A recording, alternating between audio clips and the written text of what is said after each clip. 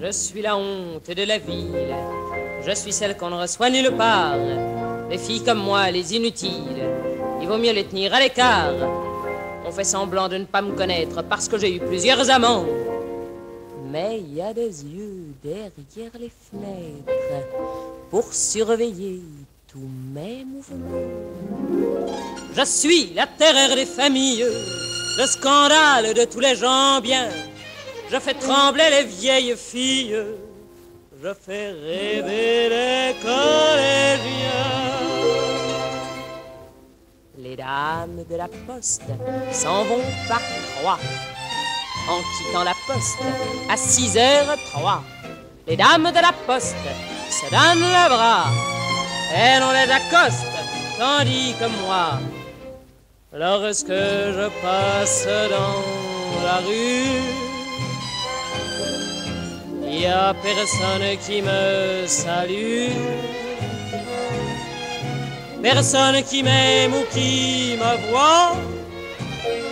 Les gens bien me montrent du doigt. Les dames de la poste s'en vont par trois en quittant la poste à 6h03.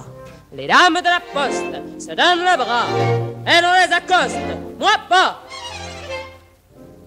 On a dit que le fils du notaire s'était tué par amour pour moi.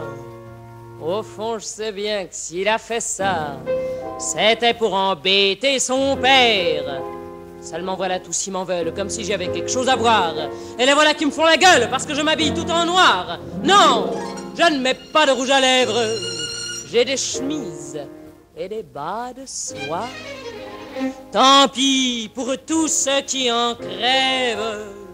Chaque soir, il y a un homme chez moi. Les dames de la poste s'en vont par trois en quittant la poste à 6h03.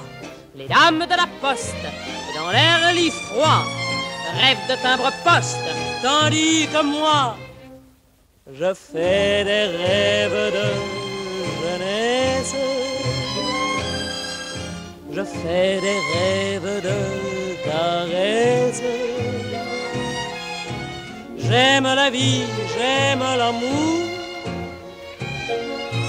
Et je sais qu'on trouvera un jour parmi les timbres postes et les mandats, toujours fidèles au poste, à 6h03, les dames de la poste, les bras en croix, mortes dans leur poste, et moi pas